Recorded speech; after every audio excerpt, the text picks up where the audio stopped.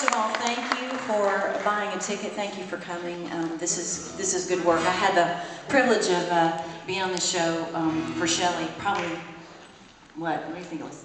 Ten years ago? Yeah, I'm old, but uh, it's a good thing, and um, I'm always uh, honored to get a chance to be here, and I'm honored to be here tonight. Uh, to uh, sing for my friend Chely. I really wish you'd just go away because you're making me nervous sitting over there because I don't, I haven't sung in a while and I might forget. No, no, go away. I was kidding. I really want you to clap really loud when I'm done.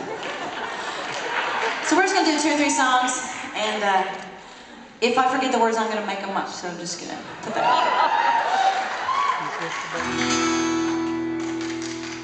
Well, don't clap yet. I haven't done it. Heaven, now you can clap. That was